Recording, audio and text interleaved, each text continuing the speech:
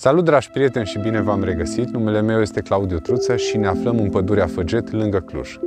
Astăzi vom realiza un film complet diferit de materialele cu care v-am obișnuit. The world is too small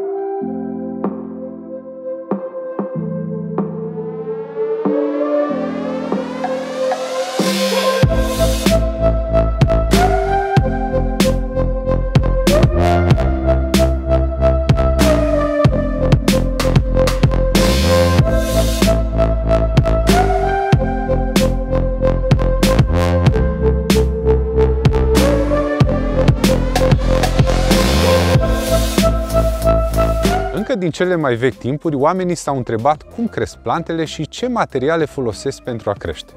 Deoarece majoritatea plantelor sunt fixate cu rădăcini în sol, cea mai simplă explicație era că plantele folosesc ceva din pământ pentru a crește, însă ce anume, în ce cantități sau proporții, nu se știa exact. În secolul al XVII-lea, un olandez pe nume Jan Baptista van Helmont s-a hotărât să facă un experiment menit să genereze un răspuns exact la această întrebare.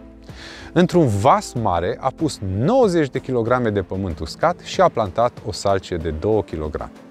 În următorii 5 ani nu a făcut nimic altceva decât să ude pământul cu apă de ploaie.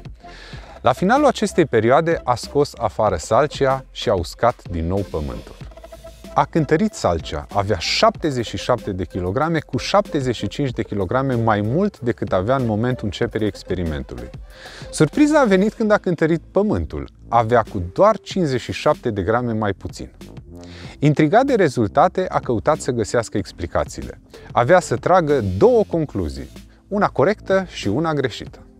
Și-a dat seama că Salcea nu folosise substratul ca și materie primă pentru masa lemnoasă pe care a câștigat-o în cei 5 ani. Și avea dreptate. Însă mai departe, logica avea să-l păcălească.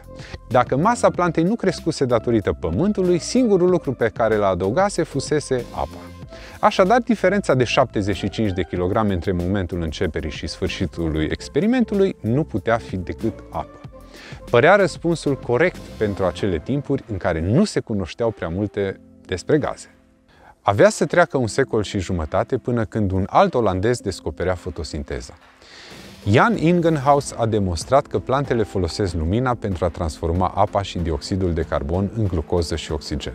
Și spre mândria noastră, a acvariștilor, fotosinteza a fost observată în acvariu, cu ajutorul plantelor acvatice.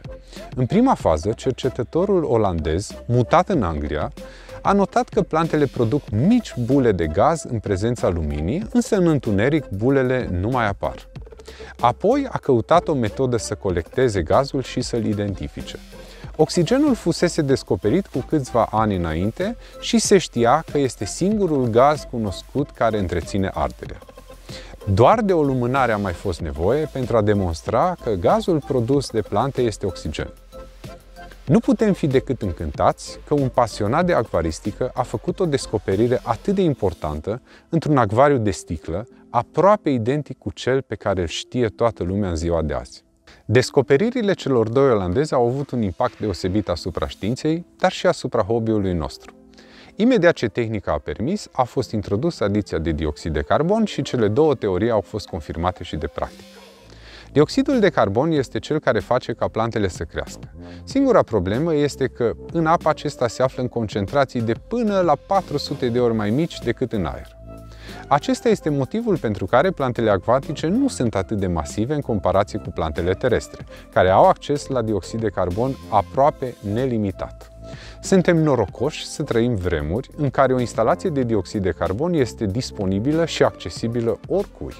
În încheiere îți spun că acest minunat hobby, cu origine atât de vechi, acvaristica, a constituit o metodă de a înțelege, aprecia și recrea natura. Acvaristica nu este doar o pasiune, este un mijloc de cunoaștere și progres. Este o sursă de noi descoperiri. Biologia, genetica, fizica, chimia sau matematica sunt doar câteva din științele pe care le înveți ușor și cu plăcere pentru a înțelege ce se întâmplă într-un acvariu. Fascinația omului pentru mediul acvatic l-a determinat să studieze, să facă descoperiri și să-și mărească volumul de cunoștințe și educația. Această transformare caracterizează umanitatea în general, dar și pe fiecare dintre noi ca individ. Nu uita să dai like, share și să te abonezi la canalul nostru pentru a vedea și filmele care vor urma. Apreciem foarte mult uh, interesul vostru pentru munca pe care o facem noi aici. Pe data viitoare!